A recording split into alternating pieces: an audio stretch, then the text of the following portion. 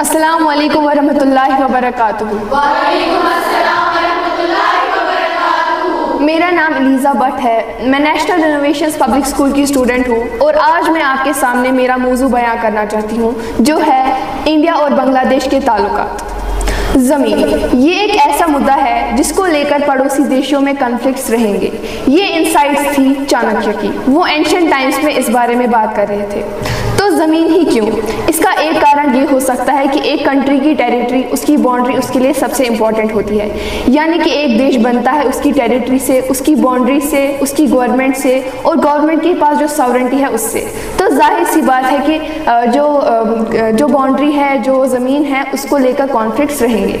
चलिए अब हम हमारे मौजू को स्टार्ट करते हैं। सबसे पहले हम बात करें बांग्लादेश की तो बांग्लादेश के जो चार साइड्स में से जो तीन साइड्स का लैंड बॉर्डर है, वो शेयर करते हैं वो इंडिया के साथ। यानी टोटल में 4096.7 किलोमीटर्स का लैंड बॉर्डर ये शेयर करते हैं। और बाकी का एक, जो साइड है, वो शेयर करते हैं वो बे ऑफ़ बंगाल के साथ। इसके बाद हम बात करें नेशनल एंथम्स की। जो जो दोनों कंट्रीज़ के नेशनल एंथम्स है, वो लिखे थे राबेदनो टाइगोर ने।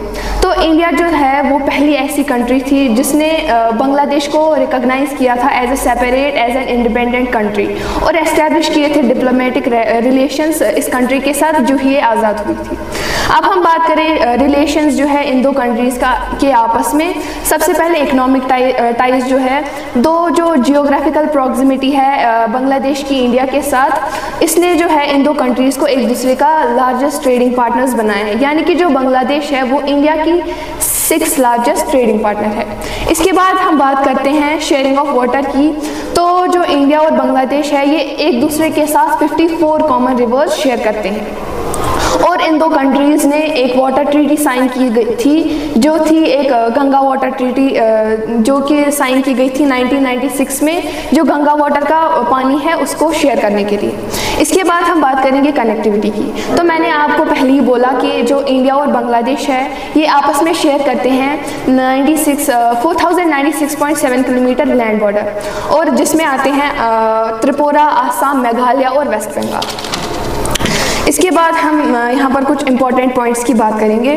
तो सबसे पहले जो है, अगरतला अखोरा रेल लिंक जो पहला ऐसा रेल लिंक था जो नॉर्थ ईस्ट इंडिया और बांग्लादेश को कनेक्ट करते थे, करते हैं। और इसके बाद जो एक और जो है, एक प्रोजेक्ट साइन किया गया था इन दो कंट्रीज़ में, जो इंडिया और Bangladesh friendship pipeline product project है, जो साइन किया गया था 2018 में।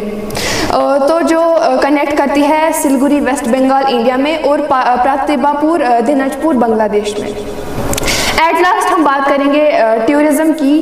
तो जो according to the ministry of tourism तो बांग्लादेश जो है बांग्लादेश बहुत बूस्ट देता है इंडियन टूरिज़्म में। यानी कि जो 2020 में है बांग्लादेश ने बहुत ज़्यादा बूस्ट दिया था इंडियन के इंडियन टूरिज़्म में। और जो ये बांग्लादेशीज़ है।